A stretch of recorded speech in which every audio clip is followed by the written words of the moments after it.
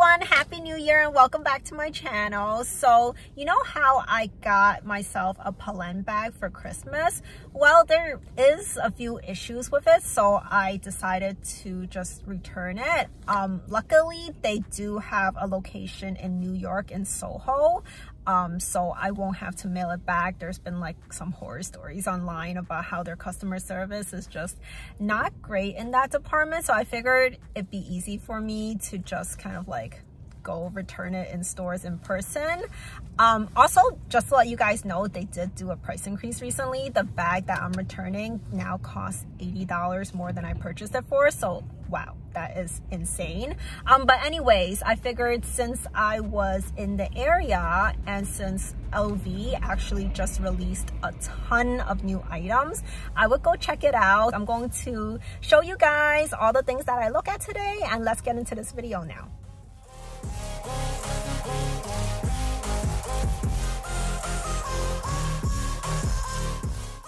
One of the newest things that Louis Vuitton recently launched is their monogram dune canvas, which is basically their traditional monogram canvas pattern, but on a white background instead of the brown one.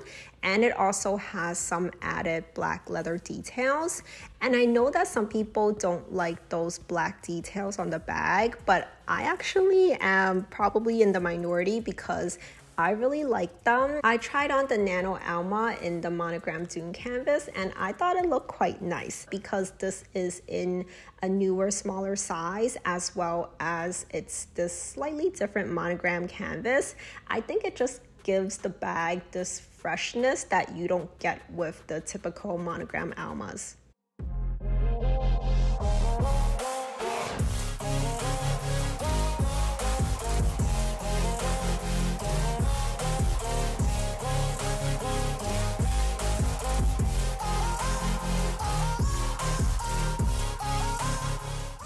Now, some of my favorite pieces from this newest launch are all the items in the flat malletage design. So there's a few speedies as well as side trunks in this design. And it's interesting because I borderline hate the padded malletage look Ever since Louis Vuitton came out with it in their Go 14 bags, I didn't like the puffiness of the quilts and I didn't like that kind of like shading gradient effect they put on it either. It just looked really, really strange to me. So it's weird that I've completely did a 180 as long as they just flattened those quilts and I really like the black one specifically. The leather feels so nice. And if I didn't already have way too many black bags, I would have totally gotten the black malletage side trunk in the PM size, which I've tried on along with the monogram canvas side trunk in the PM size,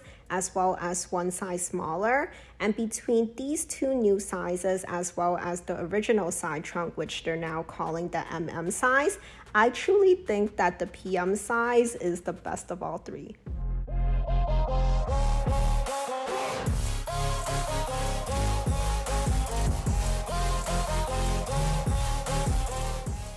And there are also so many new capucines in stores now. So Louis Vuitton has released their capucines in this new East-West style. So they did it in black as well as white. And the thing is that the hardware on these bags matches the leather on them. So you guys know I have a thing for bags with black hardware and I really think this bag rivals the Ultra Matte Lady Dior's. I think they are so stunning, and I have to admit that I thought the shape of these east-west capucines was really strange when I saw photos of them, but I have to admit they look better in person.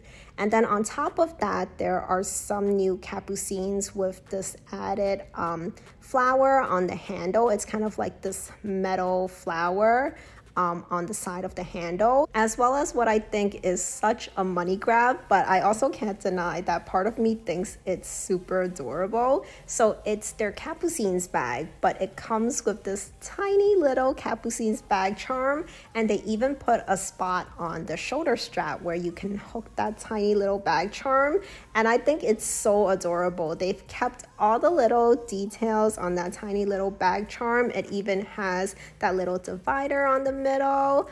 It's so adorable, but also so useless at the same time. That little bag charm, I don't even think it fits a credit card in there.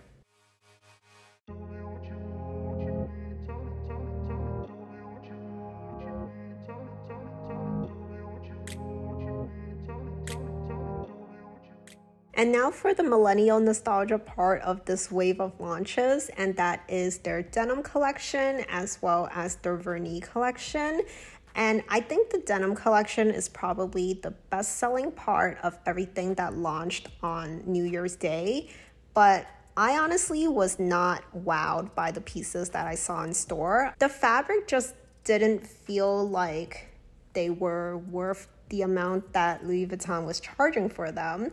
However, I really liked the Vernis pieces, and I didn't think I would say that because I don't like patent leather in general. I love the cheerful summery colors they chose for these pieces and that shimmer that you can see in the Vernis leather is just so gorgeous. And I tried on two bags from this new Vernis collection. So the first one is the Reade bag in the hot pink and it comes with this attached hair clip and I have to say, if you could buy that hair clip separately, I would totally get it just for the color.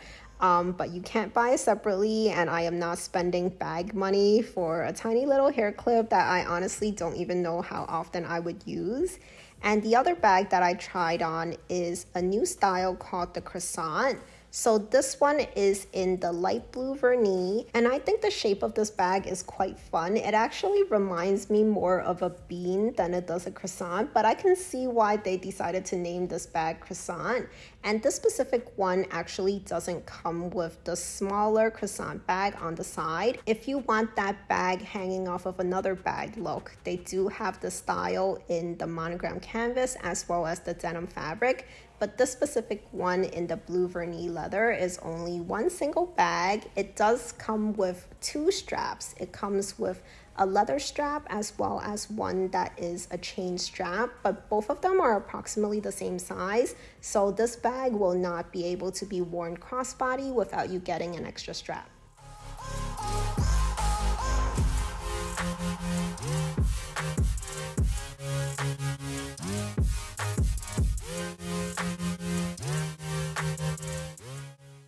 Sorry for the horrible lighting, but I realized I haven't filmed an outro for this video. So I just wanted to hop in and say that I hope you guys enjoyed this video. Let me know if you're eyeing anything from this newest Louis Vuitton launch or any of the future ones that are coming up really, really soon. And if you haven't already subscribed to my channel, please do consider subscribing for lots more content on luxury handbags, jewelry, and fashion coming up this year. And I'll leave two videos on the screen for you to watch next. So I'll see you very soon. Bye for now.